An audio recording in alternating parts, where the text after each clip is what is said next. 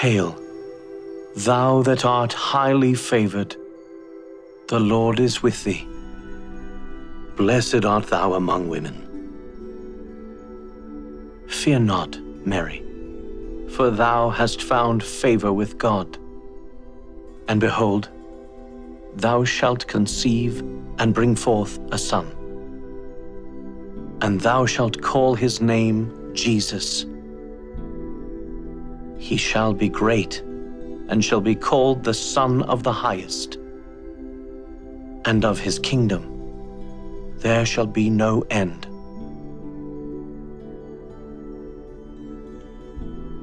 How shall this be? Seeing that I know not a man. The Holy Ghost shall come upon thee, and the power of the highest shall overshadow thee. Therefore, also that holy child, which shall be born of thee, shall be called the Son of God.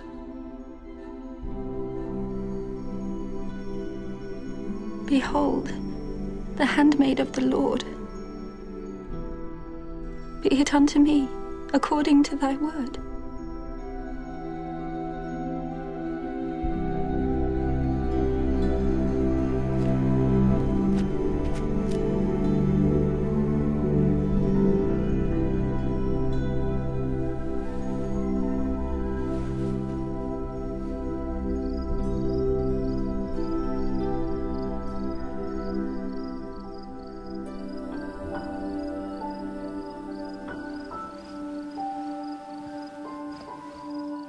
Joseph, thou son of David, fear not to take unto thee Mary thy wife, for that which is conceived in her is of the Holy Ghost.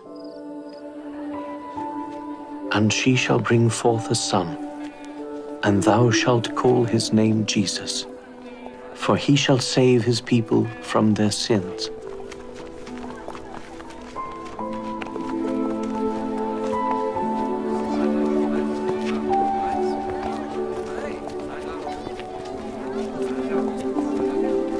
Aitai, לחומתרה, לחומתרה, Aitai, לחומתרה, ציארתה.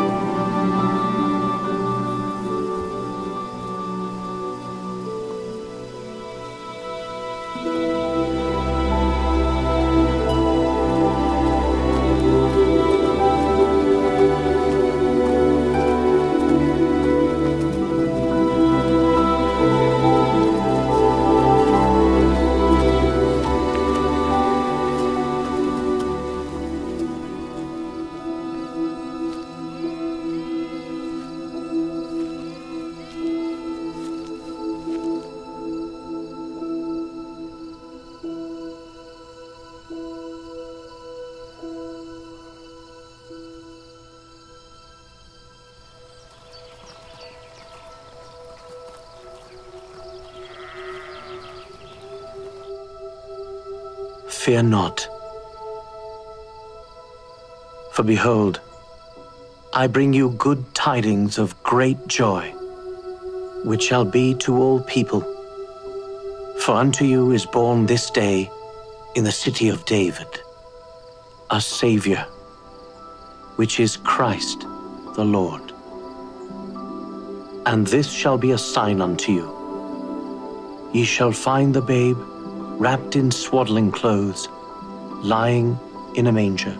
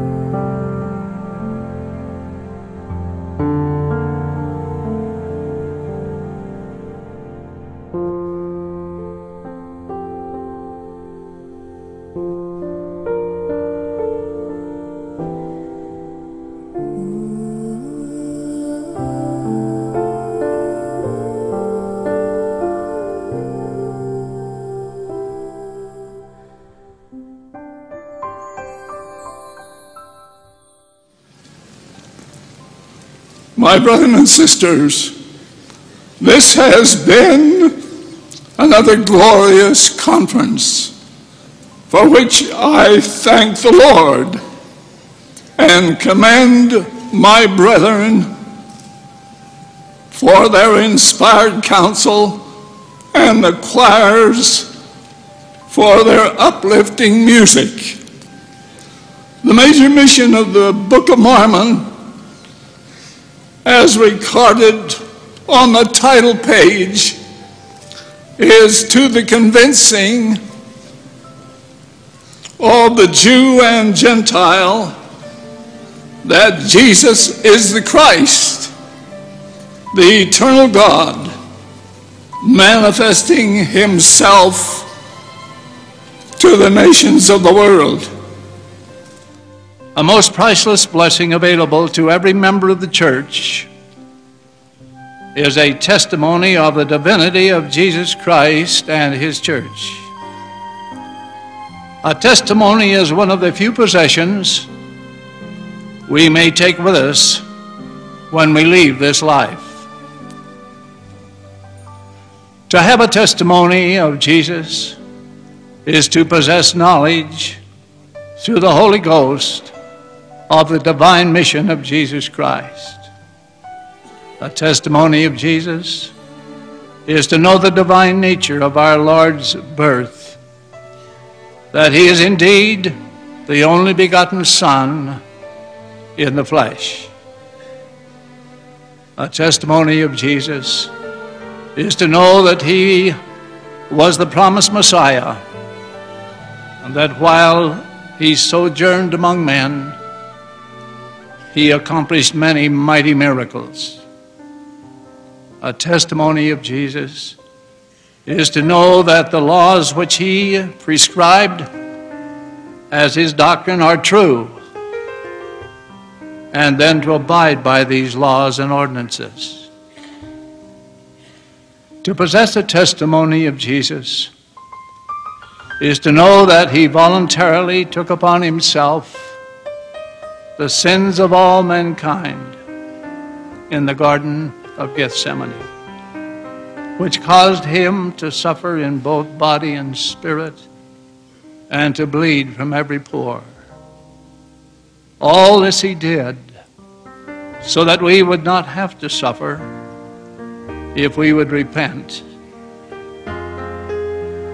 to possess a testimony of Jesus is to know, is to know that he came forth triumphantly from the grave with a physical resurrected body. And because he lives, so shall all mankind. My prayer for each of us is that we too will follow the inspired counsel be faithful in Christ. Then He will lift us up with His grace, will be and abide with us forever. That this may be so, I humbly pray in the name of Jesus Christ. Amen.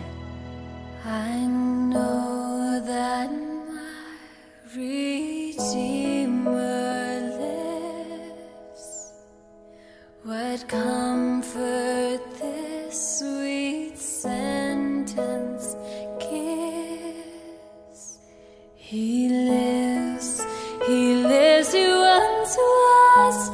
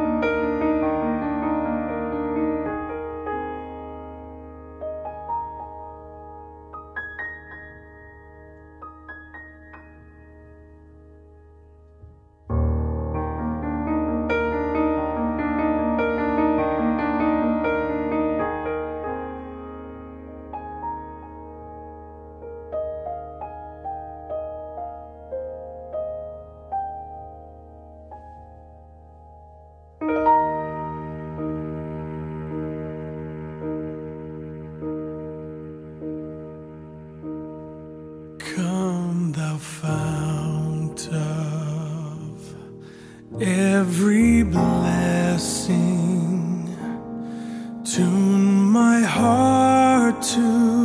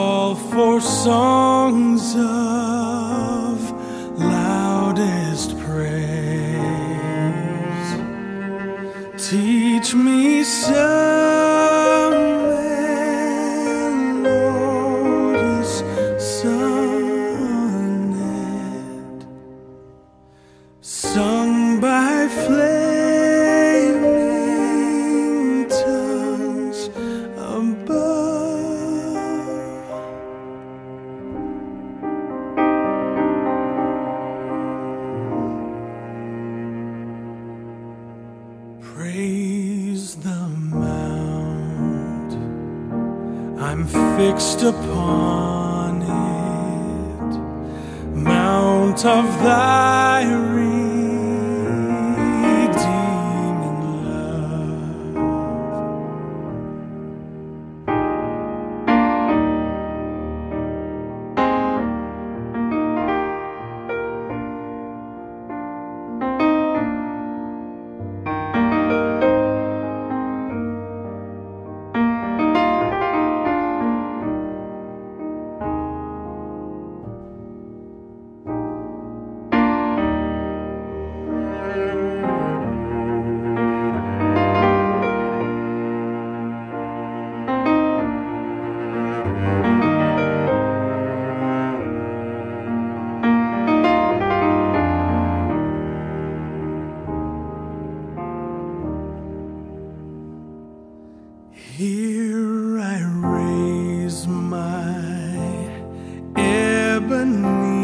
Jesus.